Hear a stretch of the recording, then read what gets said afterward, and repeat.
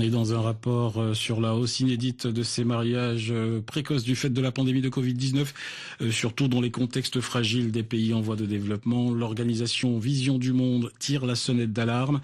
Entre mars et décembre 2020, la pratique a plus que doublé. L'Asie du Sud-Est et l'Afrique subsaharienne sont particulièrement touchées par ce fléau. Alors quelles sont les raisons profondes de l'augmentation de ces mariages précoces?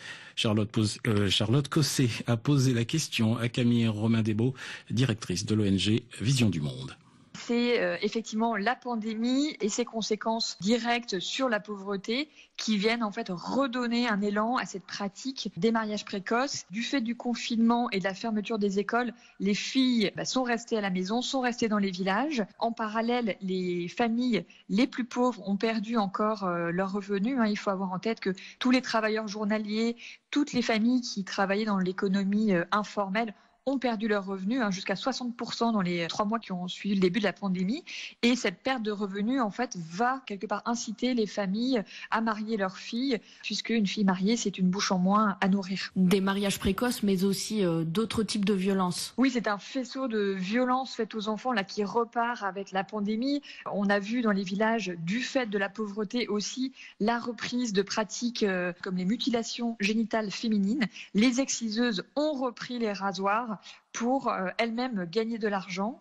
Ce sont effectivement les violences domestiques euh, sur les enfants, les violences physiques, les violences morales qui reprennent et les mariages. Vision du Monde l'a observé dans ses programmes, ont doublé en trois mois hein, euh, par rapport à l'année dernière. Est-ce que certains types de populations sont plus particulièrement concernés? Ce sont les familles les plus fragiles en fait qui sont les plus exposées à ces pratiques puisque c'est une tentation à la fois d'avoir une bouche en moins à nourrir, mais également une certaine façon quelque part de protéger les enfants en considérant que en étant mariée, la jeune fille du coup ne sera pas exposée à des violences que fait la société. Dans les camps de réfugiés, notamment à Bidi Bidi en Ouganda, le mariage est une tentation euh, pour les familles pour protéger les enfants quelque part. Donc ce sont les familles les plus vulnérables qui sont le plus exposées aussi à cette forme de violence. Quelles sont les conséquences de ces mariages précoces sur les jeunes filles? Ces mariages précoces vont priver ces jeunes filles euh, d'accès à l'éducation, vont les mettre en danger euh, physiquement et les enfermer dans un cercle de pauvreté euh, extrêmement dommageable. Le continent africain est actuellement frappé par une nouvelle vague. De nombreux pays prennent de nouvelles mesures. Est-ce que vous craignez une hausse de ce phénomène? Malheureusement, oui, on est inquiet et nous redoublons d'efforts pour faire de la prévention et faire en sorte que de nouveaux mécanismes à la fois de prévention et d'alerte puissent être mis en place dans les villages pour que ces violences ne reprennent pas et ne viennent pas encore